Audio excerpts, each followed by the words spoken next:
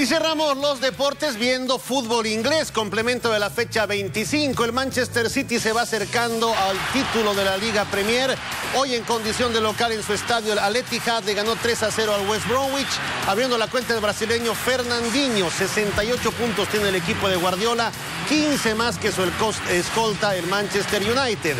Gran combinación entre Kevin De Bruyne y Rajin Sterling y el belga marcaba a los 68 el 2 a 0. Otro toque de Sterling para que Sergio Agüero al minuto 89 marque su gol número 17 en la campaña y la victoria, una más del Manchester City. El otro equipo de Manchester, el United, perdió en Londres ante el Tottenham.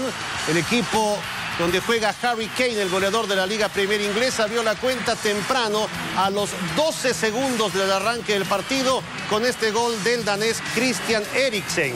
En el segundo tiempo, más malas noticias para el equipo de Mourinho, porque Phil Jones marcó en contra al minuto 28 del segundo tiempo. Debutó sin éxito en la Liga Premier hoy el chileno Alexis Sánchez.